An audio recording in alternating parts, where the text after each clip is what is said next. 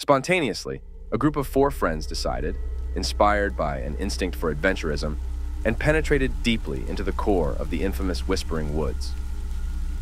The story of an abandoned cabin seemed to warp and become a dark reality, hidden deep within its depths, filled the air with whispers, until that night.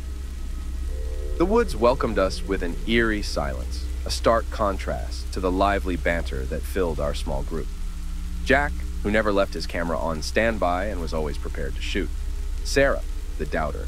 And Alex, whose interest in everything supernatural seemed to be never ending.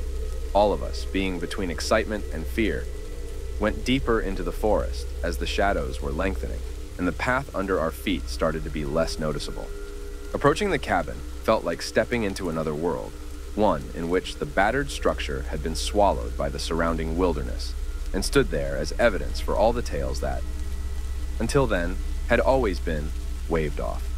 The door was creaking on its hinges, and the last tinny voiced complaint came from behind as we made our entry into what would become our campsite for the night.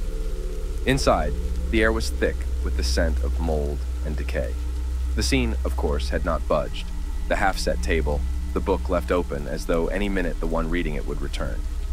And children's pictures on the floor, their bright colors peculiarly dark, so they lay in that unfriendly light.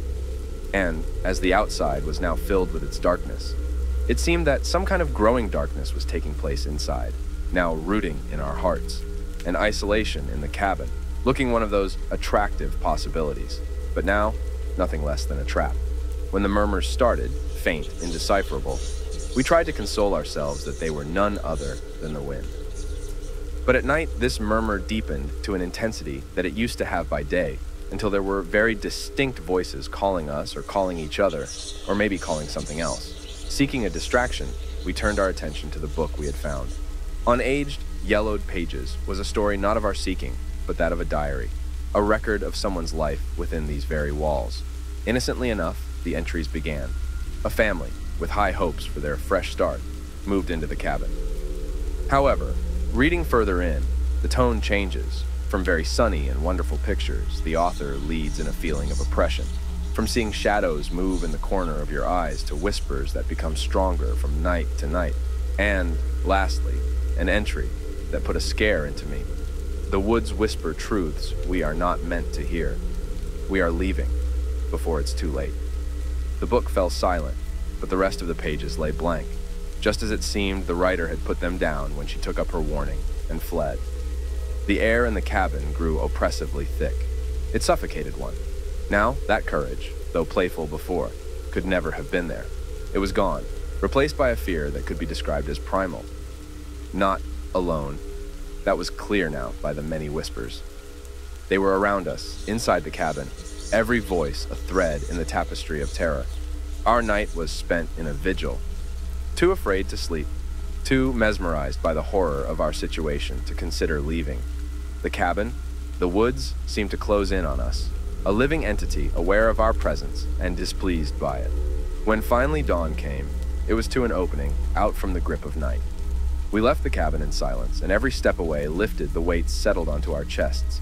The light of day no longer made the forest take on some malevolent being. It was just a forest and the cabin just a cabin. But that experience stayed, shadowing into our friendship. We rarely ever discussed that night, almost as though bringing it up would empower the fear. But it lay there, a shared memory that bonded us in mutual, silent agreement never to go back to the Whispering Woods. At the end, we asked more questions than we had answers for in this foray into the unknown. Who? What had been the voices to see them back in the cabin? The truth, that which so few fools care to listen to, is that it is kept in secret within the very heart of the woods. It is whispered to the wind.